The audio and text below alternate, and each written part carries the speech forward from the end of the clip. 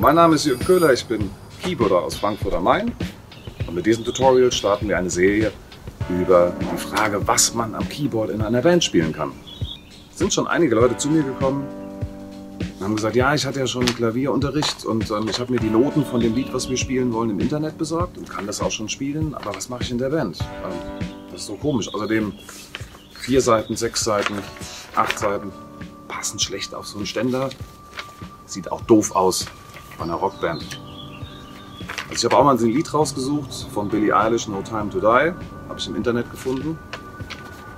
Da ist ein Klavierintro, aber wenn sie anfängt zu singen, sollten wir die Melodie nicht mitspielen. Weil da ist ja wahrscheinlich eine Sängerin, die das singt. Die möchte nicht, dass wir das noch doppeln. Brauchen wir nicht. Und der Bassist will mit Sicherheit nicht, dass wir die tiefen Noten am Klavier auch noch spielen. Also bleibt gar nicht viel übrig von dem, was wir auf diesem Sheet hier haben und gelernt haben für Klavier, wenn wir alleine spielen. Also werden wir darüber reden, wie man in einer Band begleiten kann am Klavier und am Keyboard. Das passiert sehr, sehr viel über Akkorde. Und wie solche Akkorde gehen, darüber werden wir in den nächsten Tutorials sprechen, was man mit denen machen kann. Also, werfen wir die Sheets fort und gehen mal rein gucken.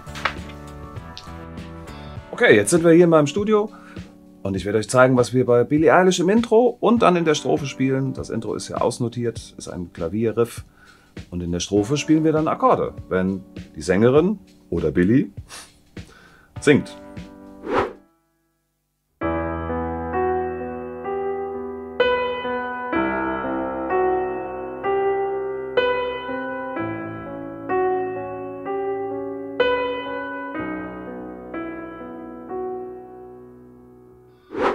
Wenn dann die Sängerin anfängt, spielen wir nur eine Begleitung, also Akkorde. Das klingt dann ungefähr so.